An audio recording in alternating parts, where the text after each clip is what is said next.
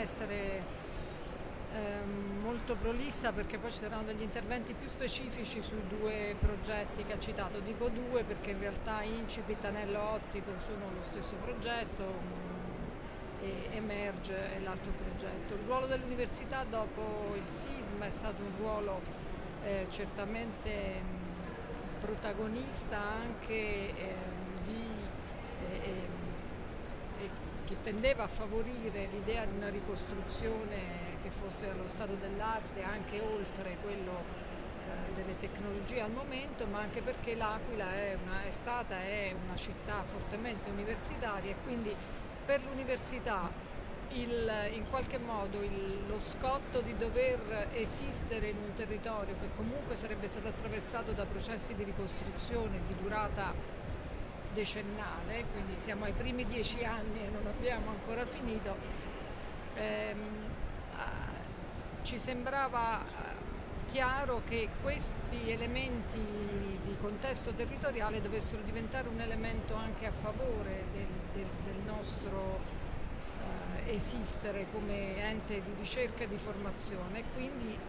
l'idea di avere la città in ricostruzione come un potenziale laboratorio di sperimentazione di tecnologie allo stato dell'arte e anche di sperimentazione nel campo di tecnologie avanzate era un'idea che ci era sembrata in qualche modo un po' visionaria ma che poi oggi la raccontiamo, la raccontiamo come una cosa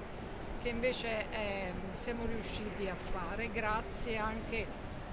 forse al fatto che quando succedono disastri di questo genere è molto difficile il giorno dopo avere la visione di che cosa si vorrà essere come città. E quindi dopo qualche anno la città si è riconosciuta nell'idea di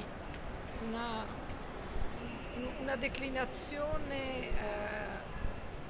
alla sperimentazione, al guardare avanti in modo eh, rigoroso, magari scientifico, ma sapendo che insomma si va per passi piccoli e si aggiusta la visione man mano. Nessuno ha idea di che cosa sarà dopo dieci anni, dopo venti anni una città. E piano piano questa attitudine un po' di un metodo scientifico ha caratterizzato invece molte delle scelte che sono state fatte, non tutte ovviamente, non è che si può ricostruire la città sapendo già quello che sarà, ma nel, nel processo, nella metodologia, nel, nel, modo di operare si è cercato di effettivamente avere questo rigore scientifico. L'aquila della conoscenza vuole essere questo, no? Il,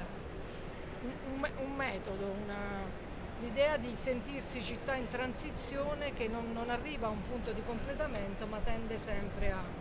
a, migliorare, a riconvertirsi, a darsi nuovi obiettivi. I due progetti in questione sono legati, in che cosa sono legati? Il primo progetto Incipit, lo vedrete, è un progetto di eh, rete, eh, rete, rete urbana di 11 km, un anello di 11 km che attraversa la città vecchia e nuova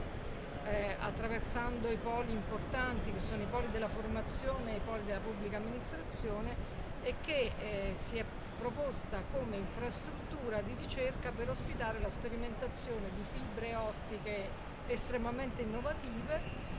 e, ehm, e poi di che tipi di servizi si possano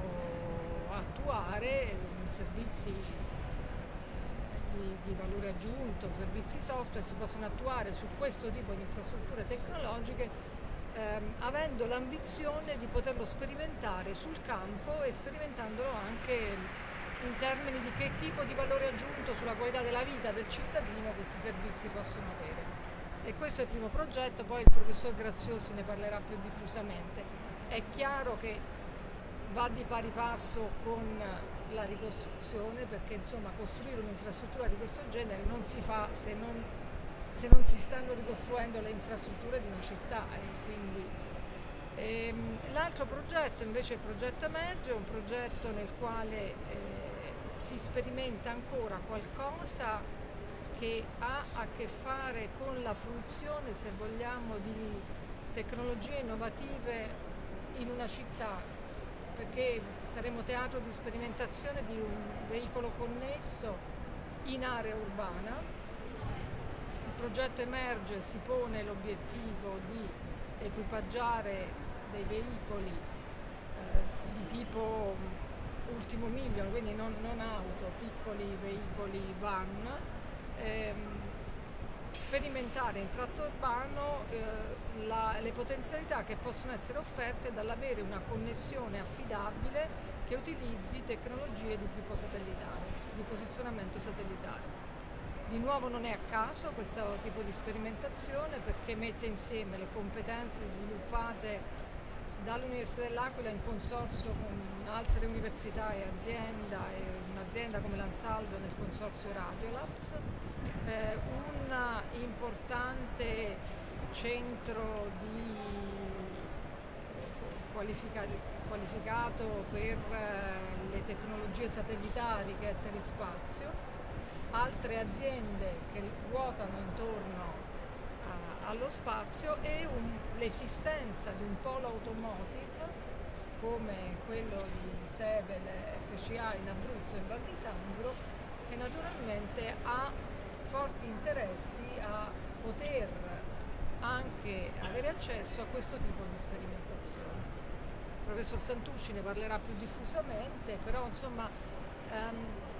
è un po', credo che questi due progetti diano un po' il segno di quello che è stato il nostro impegno all'Aquila e sul territorio più in generale. È stato un, un, un, tentativo, di, un tentativo riuscito di utilizzare le possibilità che avevamo di introdurre un'infrastruttura di ricerca importante nella città e contemporaneamente di fare questa cosa abusata sistema tra grandi imprese, imprese estremamente innovative e tecnologiche, e competenze universitarie, non necessariamente solo le, le nostre. Cito dicendo che questo progetto è stato anche in qualche modo l'elemento che ci ha consentito di fare un accordo quadro tra Università Comune dell'Aquila ed ESA per sviluppare eh, soluzioni innovative che utilizzino anche tecnologia 5G che è l'altro elemento dove in qualche modo la ricostruzione dell'Aquila all'insegna dell'innovazione tecnologica permesso alla città dell'Aquila di essere una delle cinque città di sperimentazione 5G.